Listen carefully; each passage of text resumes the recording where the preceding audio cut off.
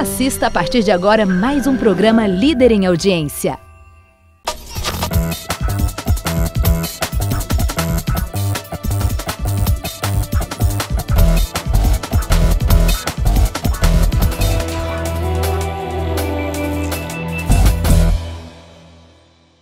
Comigo o vereador Alexandre Barros Mendes, vereador Leque. Ele hoje apresentou vários requerimentos e solicitações, principalmente para a realização de obras de revitalização na colônia Padre Damião e nos diversos povoados que ali se encontram. O vereador particularmente lutando pelo lazer e pela vida saudável das pessoas. Ele pediu uma academia ao ar livre para atender a população da colônia Padre Damião e também a revitalização da Praça José Custódio Pereira, esta praça no povoado São Domingos. A população realmente também precisa de lazer, não é, vereador? É, claro, boa noite a todos. Lógico, né? Na colônia temos uma praça lá, José Custódio Pereira, mas ela não está, ela não tá boa, sabe? Ela vai ser revitalizada, o doutor Hélio já me prometeu. Assim que tiver os calçamentos todos em dias, ela vai estar revitalizada. E a respeito dos logradouros aí da colônia, amanhã mesmo já vai ser começado a fazer as ruas e fazer um trevinho logo na entrada do povoado Boa Vista ali, para ter mais acesso, um acesso mais seguro, um acesso mais livre para as pessoas lá. Isso você vai começar a ser feito amanhã. Inclusive já tem até umas manilhas lá hoje que o caminhão levou e deixou lá. Você também solicita mais uma vez, já que você já entrou com essa indicação anteriormente, para que a Avenida Doutor Heitor Peixoto Toledo, que é a avenida que dá acesso à colônia Padre Damião, ao povoado São Domingos e Boa Vista, seja recapeada e ali também se coloca redutores de velocidade. Né? Sim, eu só reiterei o pedido aí, isso é meio complexo de fazer, né? Mas, doutor Ez, ao longo desses quatro anos, eu tenho certeza que a gente vai conseguir revitalizar aquela avenida ali. E agora, na semana que vem, já vai começar a fazer o tapa-buraco lá. Começa a chover, começa a dar alguns buraquinhos, já vai começar a fazer esse tapa-buraco lá. Já está de bom tamanho pra gente. A gente contenta com pouca coisa lá. O vereador hoje apresentou uma moção de pesar pelo falecimento da senhora Aparecida Ferreira Matias, ela que é uma moradora tradicional da colônia Padre Damião e com toda certeza sua morte consternou a muitos que a admiravam e que dela tinham as melhores referências. Vereador, foi um momento muito triste para vocês da colônia, né? É, um momento muito triste, que a Aparecida é uma pessoa muito querida em nossa comunidade, uma família maravilhosa, filhos maravilhosos, um marido excelente. Então eu sinto, senti muito pela morte da Aparecida e que eu convivia na casa dos meninos, convivia na casa dela. Eu, na verdade, era um membro da família dela. Então eu deixo aqui o meu pesar, minha, minha solidariedade a toda a família, que a família nesse momento difícil possa passar por essa barra, que não é fácil, né? Que Deus abençoe a toda a família da Aparecida, que dá um bom descanso para ela.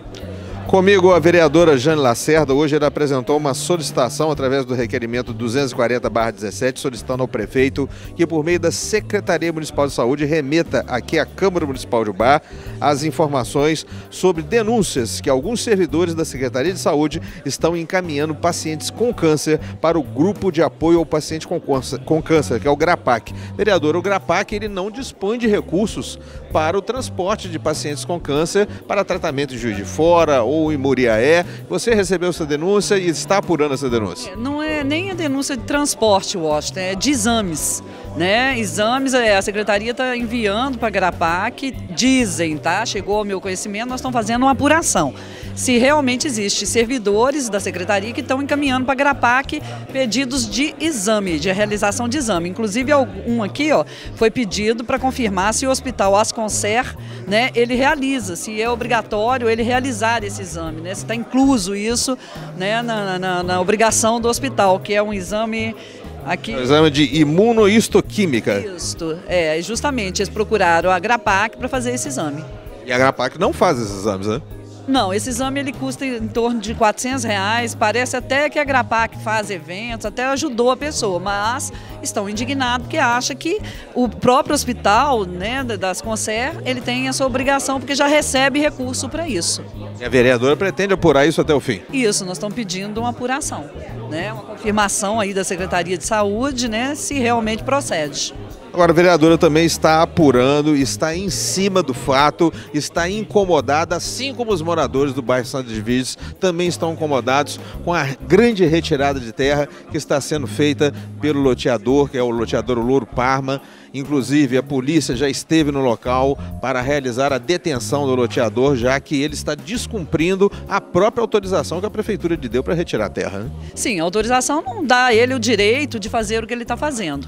Né? Então, acho assim, a gente tem que prevenir que aconteça uma catástrofe. Nós não estamos querendo amanhã que, eh, por exemplo, se penhore bens dele para poder ressarcir a população. E também eu acho até uma obrigação do município fiscalizar isso, porque senão a responsabilidade também passa a ser do município e do engenheiro. Autorizar, o município autorizou, né? Autorizou, mas não está fiscalizando. Agora, o engenheiro responsável também, que me parece que é o Chico Nascimento, também assinou aí como responsável técnico. Eu acho que ele também tem que se responsabilizar caso aconteça algum problema, né? E, e algum risco aí para a população. Pode haver mortes, pode haver perda de bens, carros, às vezes, que podem entrar lama no motor. Então são vários prejuízos que podem causar tanto ao município quanto à população. Então eu acho, gente, que a gente tem que correr atrás para prevenir. E eu estou fazendo isso, eu tenho lutado muito. Hoje eu fui de novo no Ministério Público, fui na Defesa Civil, tirei foto do local, já existem erosões laminadas né, na, na, na beirada, onde a gente vê que vai, aquilo vai descer. Essa chuva pesada desse final de semana deve ter causado isso, né? Inclusive tem um vídeo na internet na, na, de utilidade, né, naquele grupo de utilidade pública, que mostra né, um morador mostrando aquela enxurrada toda descendo, provavelmente já está entupindo os bueiros, já é o primeiro passo da, da, do risco aí em potencial, porque uma vez os bueiros entupidos, o que, que vai acontecer? A próxima terra que descer em quantidade provavelmente vai entrar nas casas, né? E minha preocupação, Washington, que lá tem casas abaixo do nível da rua que o medo até de causar aí um, perdas de vidas, entendeu? Então acho que a Defesa Civil tem que tomar uma medida, ir no local, ver a gravidade e se há risco de vida, retirar esses moradores antes que aconteça o pior.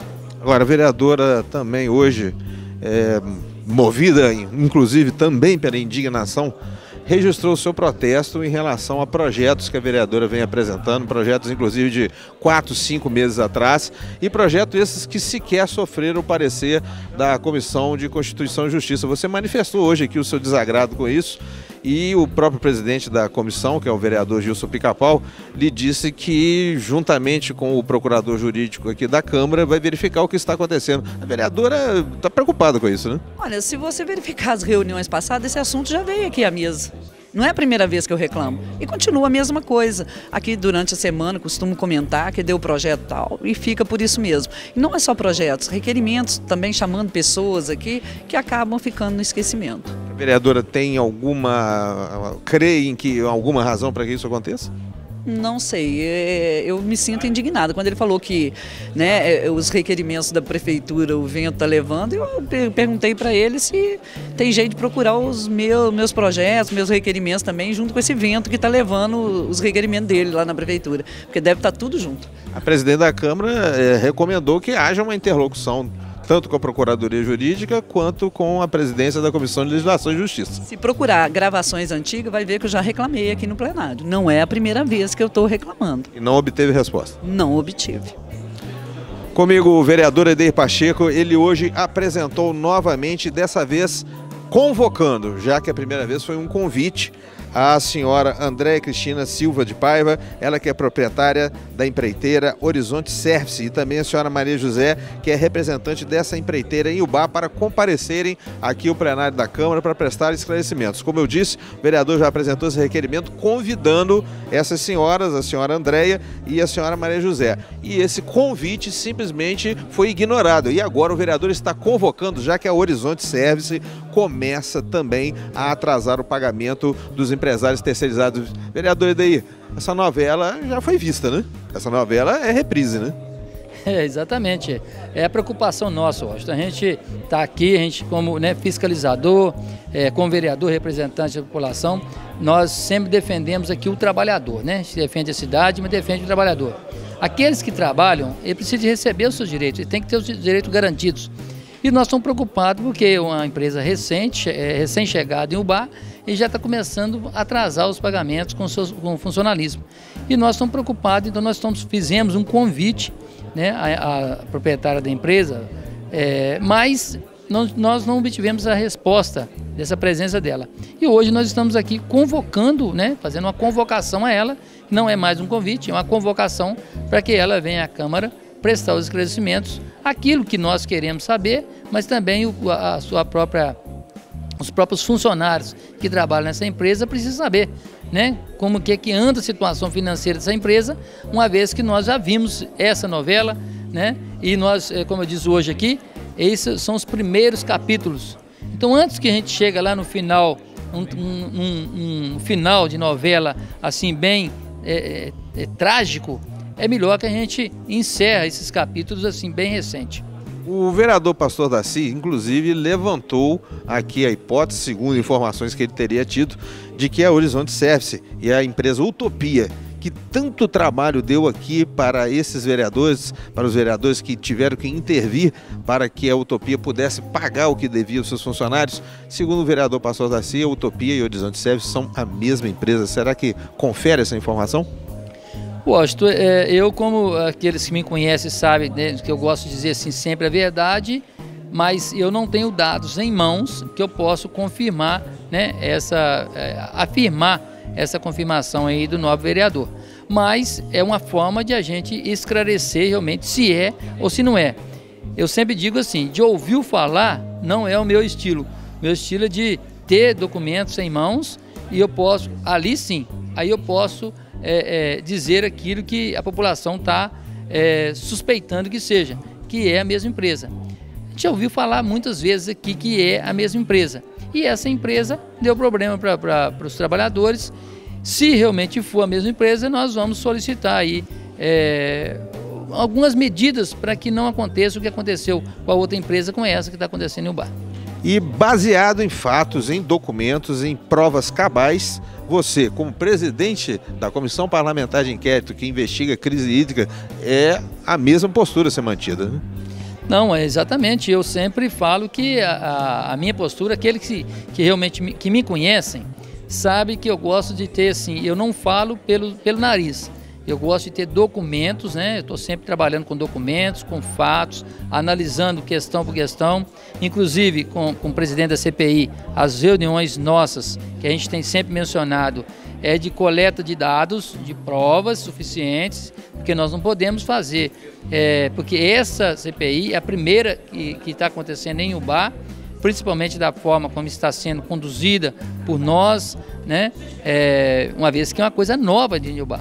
Mas é um trabalho que tem que ser feito assim bem minucioso, com bastante cautela, porque nós não podemos incriminar aqueles que não devem e nem é, poupar aqueles que devem.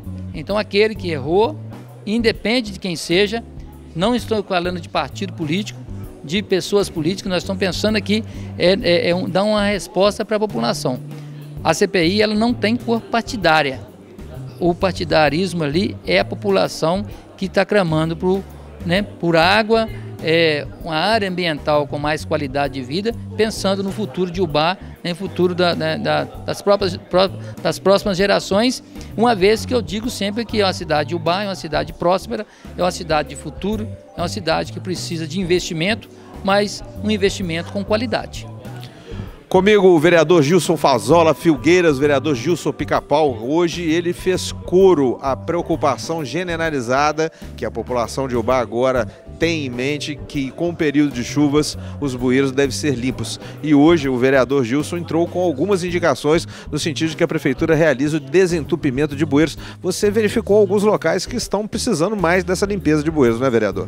É, esses bueiros lá no bairro é, Santana já vai fazer mais de três meses que não está sendo limpado. Por quê? Nós já fizemos essas reivindicações ao secretário do Meio Ambiente, que é o Vicente, por quê?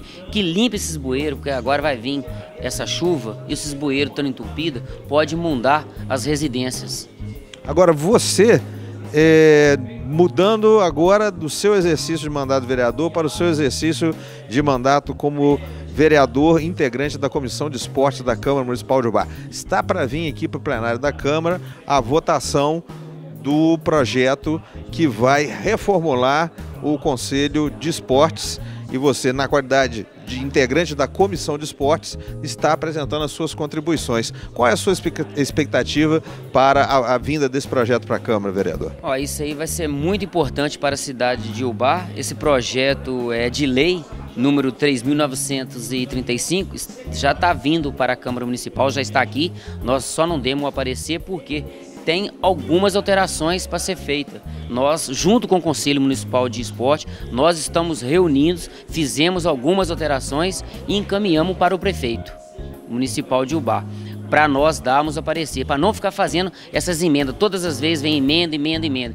Então nós mandamos para a Prefeitura Municipal de Ubá, para o ano de 2018, que o esporte de Ubá seja de grande importância para essa juventude. Ou seja, há uma expectativa tanto por sua parte como do vereador Escuro, presidente da comissão, de que esse projeto venha para a Câmara Municipal de Ubá para ser discutido e votado por vocês. É isso aí, vai ser de grande importância para a cidade de Ubá. Eu quero agradecer o prefeito municipal Edson, mais o Vinícius e sua comissão está dando total apoio. Então isso é muito importante. Se tiver o prefeito do lado e a comissão de esporte, se Deus quiser, para o ano 2018, nós vamos fazer um grande trabalho na área dessa juventude e esporte de Ubá.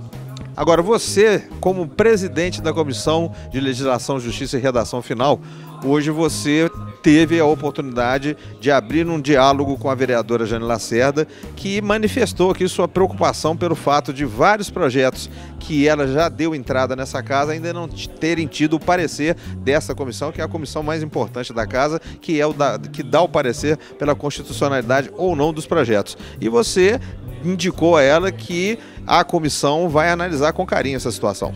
É, isso que a gente ficou assim, é meio preocupado, porque todos que de todos os vereadores, nós reunimos, eu, o pastor Daci e o Antero, reunimos com o jurídico da Câmara e damos a parecer. Amanhã mesmo já falei com o jurídico por que, que da vereadora Jane não está aqui, porque aqui nós trabalhamos é para a população de Ubá. Aqui não tem é, segurar projetos, leis, indicações e tudo. Agora, se está agarrado alguma indicação, algum requerimento em outras secretarias da cidade de Ubá, nós não sabemos. Aqui na Câmara Municipal, dos 11 vereadores, nós trabalhamos para o povo.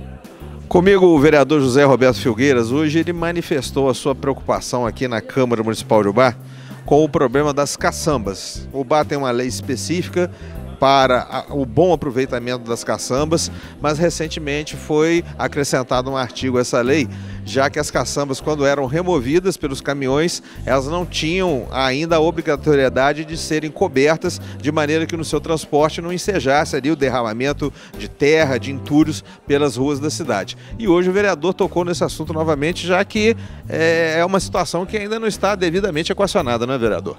Então, essa lei é a lei é, 2945 de 1999, é uma lei que regulamenta o uso das caçambas aqui na cidade de Ubá, e nós de posse dessa lei, nós presenciamos que ela não tem, ela não tem, ela não obriga as caçambas a ter uma cobertura por cima dela quando elas estão carregadas. E nós acrescentamos esse parágrafo nessa lei que agora obriga as caçambas, quando estiver transportando os entulhos, os lixos, ela está coberta para que não haja derramamento nas vias públicas. Aí está trans, transtorno e também causar acidente. É, essa lei já foi publicada no Diário Oficial, já está, é, ela já está em vigor e a gente chama a, a, população para nos ajudar a fiscalizar essas empresas que, estão, que fazem serviço, que prestam esse serviço, para que ela, ela venha cumprir essa lei, porque no, no, no artigo 6 dessa lei, ela impõe multa a, quem não cumprir, quem descumprir a, a legislação, a lei e até mesmo a cassação da licença para funcionamento. Aliás, é um problema que acomete também os caminhões caçamba, né? A gente pode e, e, nota pelas ruas da cidade, às vezes, caminhões caçamba lotados de terra que é removida de algum lugar e esses caminhões também caminham, né? Transitam pela cidade sem essa proteção, essa lona que, é, que protege, né? Correto, né? É, a gente é, convoca até a população a nos ajudar a estar tá fazendo esse acompanhamento e fiscalizando. Vendo algo de errado, ligar para a fiscalização da prefeitura que vai estar tá é, atuando e multando essas empresas, até mesmo fazendo a, a caçando a licença de funcionamento deles. Agora, hoje o vereador Zé Roberto fez uma observação que já foi até objeto de uma postagem minha no Facebook. Eu, de posse da minha máquina fotográfica, registrei a tristeza que é presenciar aquela estátua do Ari Barroso ali na Praça São Januário, uma estátua que foi feita em homenagem a esse que é o ubaense mais famoso de todo mundo, com a presença naquela estátua de estudantes que não possuem a menor identificação com a importância desse grande ubaense, desse grande compositor. Os alunos sentam ali, sentam em cima do piano, sentam no colo do Ari Barroso, colocam todas as suas mochilas ali em cima. Já registrei esse fato nas lentes da minha Câmara, vereador, e eu fiquei muito sensibilizado com esse depoimento seu hoje, já que o Ari Barroso parece que das gerações atuais ele é uma figura totalmente desconhecida, né? É. Hoje não tem nenhuma autoridade no nosso país que que não conhece ou nunca ouviu falar de Ari Barroso, né? É, mesmo os mais jovens já, já ouviram falar. E quando se fala em Ari Barroso, lembra-se da Jubá, que é onde ele nasceu. E, e ó, o Bar fez essa homenagem aí, colocou ali na praça central, a praça principal da nossa cidade, uma estátua dele com o seu piano, é, que é característico dele, e, e, a gente vê os adolescentes que saem das escolas, principalmente das escolas particulares, é, que são é, é, adolescentes que de repente têm uma condição financeira melhor e ficam ali, sentam no, no piano, é, tiram foto, ele coloca boné nele parece uma foto de consciência e de respeito com o, valor histórico que, que, tem, que ele tem para a nossa cidade. Eu fiz um comparativo, se aquilo fosse num, numa praça de um, de um, bairro, as pessoas iam ia xingar os adolescentes e falar que não tem cultura. Mas eu, a gente vê que não é o caso. Talvez é falta de conhecimento, ou até mesmo vandalismo, ou que não queira dar o, o reconhecimento que ele tem. Se outras cidades é, tantas outras cidades queriam ter Ari Barroso é, como filho ilustre, né? E não tem, o Bar tem esse privilégio e muitas vezes não é valorizado pelo, pelas pessoas que aqui moram. Como ex-integrante da Comissão Nacional Organizadora dos Festejos do Centenário de Ari Barroso, trabalho esse que exerci em 2003, tive acesso aos últimos versos escritos por Ari Barroso antes de sua morte. Versos esses que não foram musicados e que é uma espécie de epitáfio de Ari Barroso. Vou ceder esses versos para o vereador de maneira que ele possa, junto à prefeitura, quem sabe, providenciar ali uma, uma placa com esses dizeres, de maneira que as pessoas também entendam a importância desse que foi um dos mais geniais compositores da música popular brasileira, que temos a honra e o orgulho de que, que é um, um cidadão ubaense, e para que as pessoas também possam identificar quem é Ari Barroso e com isso trazer mais respeito por aquela estátua ali na Praça São Januário. Então, é, falar de Ari Barroso é lembrar de cultura, né? lembrar de música, lembrar de coisas boas. Eu, eu acho que o que vier para somar e para é, deixar registrado cada vez mais a, a, memória desse ubaense ilustre, eu acho que vai ser bem-vindo. A gente está à disposição para levar essas melhorias para o prefeito e homenagear cada vez mais esse ubaense ilustre. Palavras do vereador José Roberto Filgueiras no encerrar da reunião ordinária da Câmara Municipal de Ubá, nessa noite do dia 13 de novembro.